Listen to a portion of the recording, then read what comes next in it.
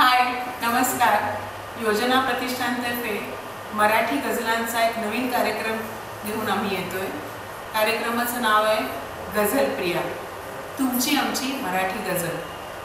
या मैफलीचं फोटोशूट आम्ही आता इथे करतो आहे आणि माझ्यासोबत आहे डॉक्टर गिरीशो मराठी नाट्यसृष्टी चित्रपटसृष्टी आणि मालिका.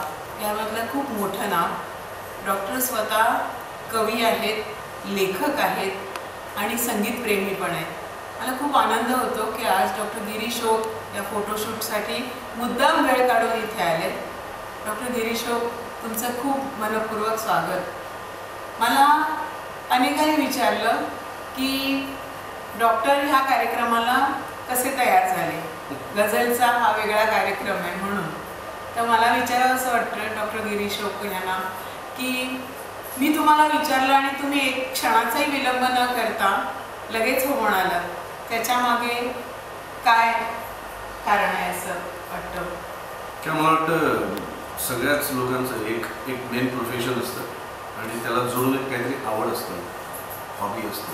छंद असतो. किंवा एक काहीतरी लाडका भाग असतो. तसं शब्दांवरचं प्रेम आणि शब्द सादर करणे आता नट म्हणून मी वेगवेगळ्या प्रकारे संवाद सादर करतच असतो.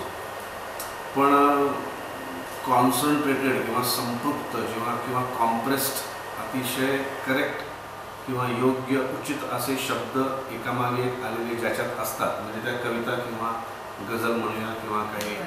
या टाईपचं मुक्त छंदातलं म्हणूया किंवा छंदबद्ध असं म्हणूया काहीतरी लेखन असतं. तर ते एक्झॅक्टली त्या शब्दांना काय म्हणायचं आहे शब्दामागचे कवी आहेत त्यांना काय म्हणायचं आहे ते जर आपल्याला आपल्या माध्यमातून आवाज आणि एक्सप्रेशनच्या माध्यमातून जर का पोचवता आलं तर जिथे ते जाणार आहे त्याला ते खूप योग्य आनंद योग्य दुःख योग्य भावना देऊन जातं.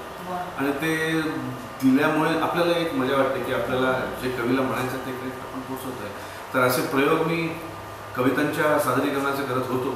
आणि त्यात खूप मला आनंद मिळायचा.